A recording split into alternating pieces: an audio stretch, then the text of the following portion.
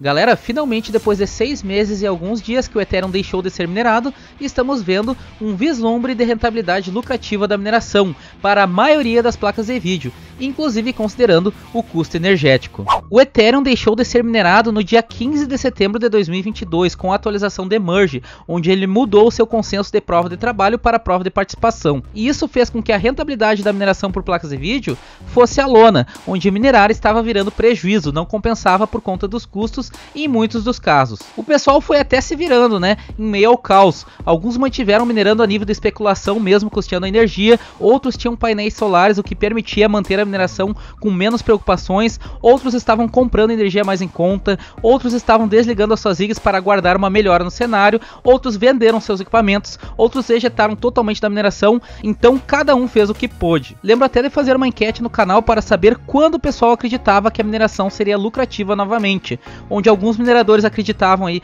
que seria no primeiro semestre de 2023, outros no segundo, outros que só em 2024 ou até 2025. Tinha aquela galera também que achava que nunca mais veríamos um sinal de positividade na mineração. Contudo, neste momento a mineração está positiva na maioria dos casos, desde que você minere, né, as criptomoedas certas. Eu com as minhas 14 placas de vídeo, 6 RX 480, uma RX 470, duas GTX 1070, duas GTX 1060, uma RTX 3070, uma RTX 2060 e uma RTX 3060, alternando a mineração entre Nexa, Dynex, Radiante, Caspa e Ergo mais Caspa, estou conseguindo estimar um rendimento de R$ 1.099 por mês no bruto. Considerando que eu pagasse aí um real kWh, ainda me sobraria 411 reais líquidos aí por mês. Então, está positivo. E vale lembrar que muitas das minhas placas são velha guarda, pouco eficientes. Quem tem placas mais atuais, mais eficientes, está em uma situação bem melhor que a minha. Muitos devem estar se perguntando, né?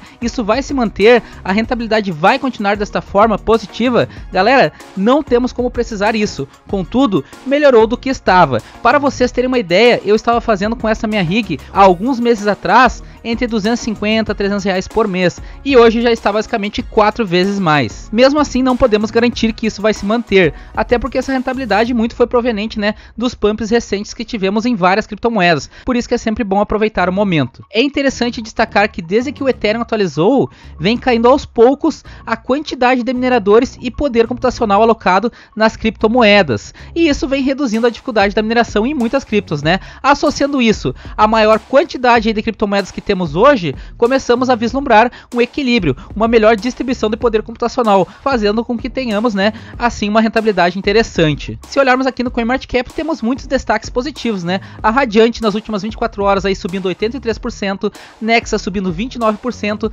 Dynex Coin subindo aí 24%, Neoxa 14%, Caspa 7%, deu até uma corrigida, né? Tinham subido muito mais, mas com certeza muita gente já realizou algum lucro nem que seja parcial. Mas fato fato é que esse pump auxiliou e muito a rentabilidade atual da mineração que estamos vendo. E algo que ratifica essa melhora no cenário da mineração é o provento diário pago ao minerador, que vem aumentando cada vez mais. Se olharmos aqui na plataforma do Manipo Stats, notamos que a Caspa ela está gerando nas últimas 24 horas, né, emitindo nas últimas 24 horas cerca de 894 mil dólares aos mineradores, ultrapassando e muito o Ethereum Classic aí que gerou apenas 342 mil dólares. Lembrando que esse provento é com base na quantidade de criptomoedas que foram emitidas nas últimas 24 horas, né? E considerando uma conversão delas direta para dólares. A Caspa hoje é a criptomoeda que mais está sendo minerada através do sistema do Hive OS.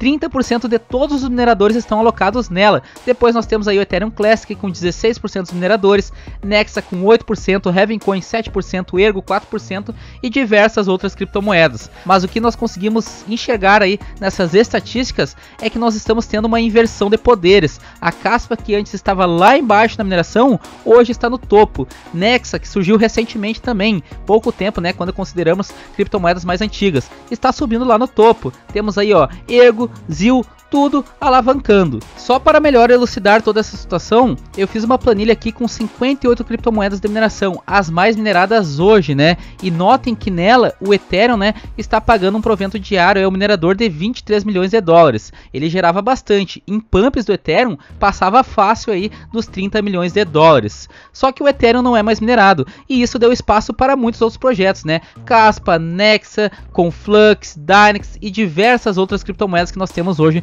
no mercado. E nessa planilha nós notamos, né, que a caspa hoje é responsável por 41% de todo o provento diário pago ao minerador. Cara, 41% é muita coisa. Isso é em torno aí de 888 mil dólares, pelo menos hoje. Depois nós temos aqui o Ethereum Classic, gerando 16%, 352 mil dólares. Olha a Nexa, lá nas cabeças, né, no topo da mineração, 11%, 241 mil dólares. Depois temos ZIO, Conflux e diversas outras criptomoedas. Mas notem que nós temos muito mais projetos né, que nós tínhamos quando o Ethereum era minerado. E isso com certeza está impactando positivamente na melhora do cenário da mineração. Só para vocês terem uma ideia, essas 58 criptomoedas que eu separei, hoje elas estão gerando aí cerca de 2.1 milhões de dólares pagos aos mineradores diariamente. Isso é cerca de 10% né, do que o Ethereum gerava. Só que nós temos que considerar alguns fatores. Hoje, temos menos mineradores ativos na rede. Devido à queda significativa na lucratividade da mineração, muita gente saiu.